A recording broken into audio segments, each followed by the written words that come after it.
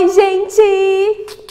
Hoje eu estou aqui com o meu cabelo úmido, assim, sem maquiagem, de roupão, porque é um vídeo de cabelo e eu vou mostrar pra vocês como que eu seco o meu cabelo com o difusor. O difusor nunca foi aquele apetrecho, assim, que eu mais usei na minha vida, mas nos últimos tempos eu aprendi a usar ele de um jeito que ficasse legal no meu cabelo, né, que é um tipo 3C, 4A, um cabelo mais crespo mesmo, porque geralmente a gente vê as meninas onduladas e cacheadas usando mais, né, mas hoje eu vou mostrar pra vocês como que eu gosto de usar no meu tipo de cabelo. Eu espero que que vocês gostem dessa dica. Se você gostou, já deixa o gostei, se inscreve aqui no canal para acompanhar os próximos vídeos e vamos lá! In the stillness somewhere above The city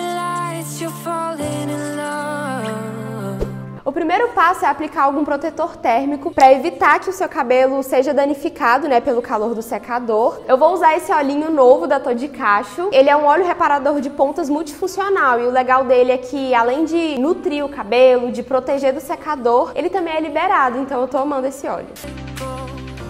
Vou aplicando principalmente nas pontas, porque as pontinhas geralmente são mais ressecadas e tal. E agora eu vou vir com o meu secador, que também é uma novidade, né, da Sala Online. Antigamente, vocês sempre viam eu usando um secador preto ou azul, que também eram da Sala Online, mas agora, gente, esse rosa aqui é o meu xodó. Porque além dele ser rosa, que eu amo, né, acho que nem deu pra perceber aqui que eu gosto de rosa, ele é muito bom, assim, ele é bem potente e eu sinto que ele é leve também. Pelo tamanho e pela potência dele, eu acho que o, o peso dele é bem tranquilo, assim, é bem leve. E esse aqui é o difusor também da Sala Online e ele é ótimo porque ele é muito grande. Ele já ajuda ajuda bastante, porque seca uma parte maior do cabelo. E o que que acontece? O problema que eu tinha era que quando eu usava o difusor, da forma que a gente é acostumado a usar, meu cabelo encolhia muito, ele ficava praticamente grudado na cabeça. Aí eu decidi usar o difusor dessa forma aqui, ó, porque além de secar o meu cabelo sem bagunçar ele demais, ele ajuda a tirar o encolhimento do meu cabelo. Então vamos lá.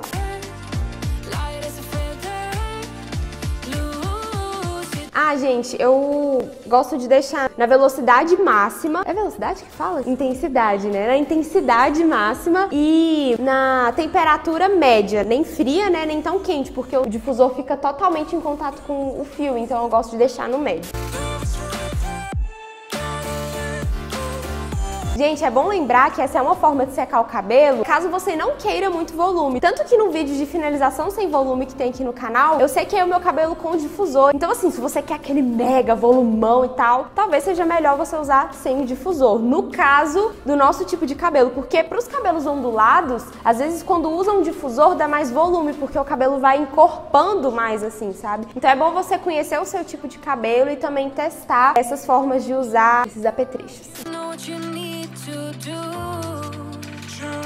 Agora dá aquela chacoalhadinha com as mãos. E esse é o resultado do cabelo só com difusor. Ele fica com menos volume, como vocês podem perceber. Só que, como eu disse, dá a impressão de que eu deixei ele secar naturalmente, sabe? Então, quando eu quero o cabelo mais definido, assim, eu gosto de usar o difusor e ele também ajuda a tirar um pouco do fator encolhimento, né? Só que agora, pra deixar o meu cabelo mais soltinho e mais do jeito que eu gosto, eu vou bater um pouquinho do secador sem o difusor, só pra vocês verem o resultado final, tá bom?